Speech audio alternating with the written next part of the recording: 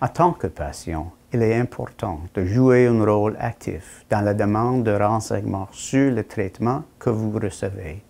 De plus, il est primordial pour vous de comprendre en quoi consiste votre diagnostic et les conséquences possibles qu'il peut avoir sur vous. S'il y a quelque chose vous ne comprenez pas au sujet de votre traitement ou si celui-ci ne fait aucun sens pour vous, n'hésitez pas à nous poser des questions, car cela nous aidera à mieux vous connaître et à prendre plus de temps pour examiner votre plan de traitement avec vous.